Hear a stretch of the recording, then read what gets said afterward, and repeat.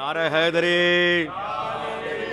حضرات، آج یہ دیکھیے بڑا مچا رہا تھا کہ اسی وقت جو میں گفتگو کروں گا، آج شہزادے کا مرثیہ ہے۔ اور بہت آپ یہ سوچئے کہ شہزادہ علی اکبر کی جو شان ہے، یہ کوئی ایک دو نسلوں اور اور آج جو مرثیہ ہے، میں تو اس وقت گفتگو کروں گا۔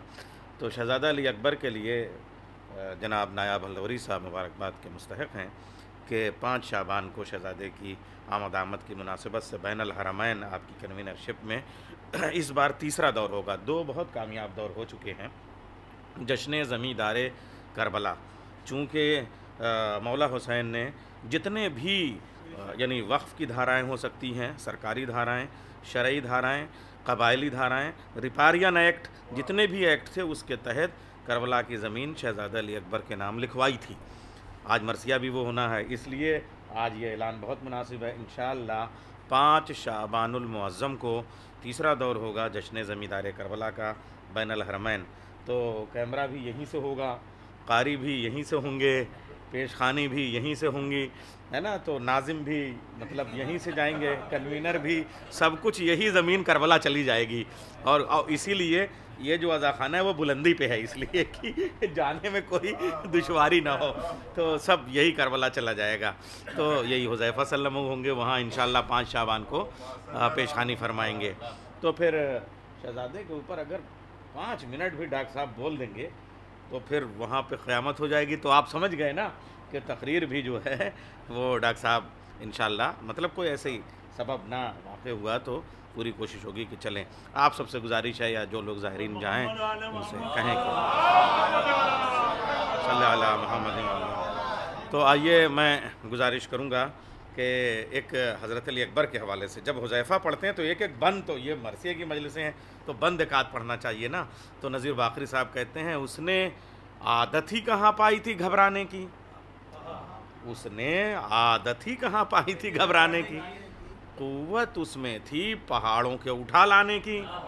کھائی تھی اس نے قسم، قصر ستم ڈھانے کی۔ دی سزا نیزے کو یہ سینے سے ٹکرانے کی۔ دی سزا نیزے کو، آفتاب مرسیہ خانی میں موجود ہے میں بیت پیش کر رہا ہوں۔ دی سزا نیزے کو یہ سینے سے ٹکرانے کی۔ پہلے اس نیزے سے بیعت کا کلیجہ توڑا، بعد میں اپنے کلیجے سے وہ نیزہ توڑا۔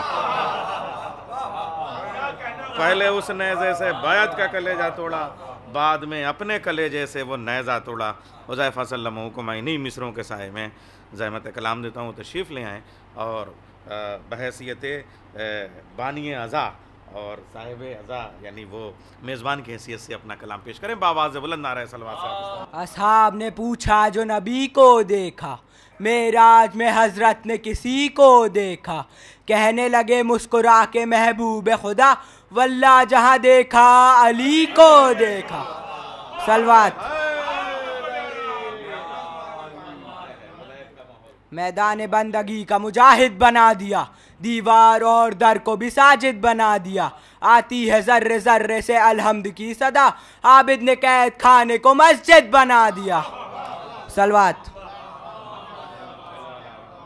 ایسے آئے علی اکبر سر میدان وگا جیسے بدلی سے نیا چاند نمودار ہوا، جیسے تصویر محمد سے اٹھا ہو پردہ، جیسے حیدر کی جوانی کا چلن جلوہ نما، یا بیکسل علا نعرہ اکبر گونجا۔